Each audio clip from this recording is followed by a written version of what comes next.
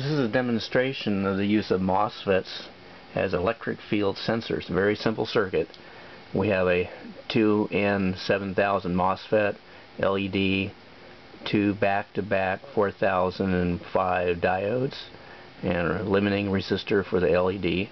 This one here is a, a power MOSFET that I just had laying around, and both of them work pretty well.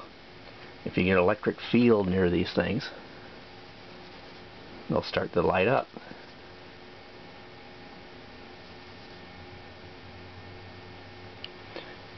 The use of this 1 meg potentiometer in series with the diodes acts as a bias so you can set this thing to different levels.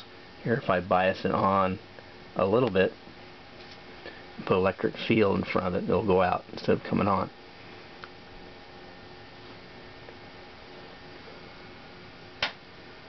Very simple little circuit.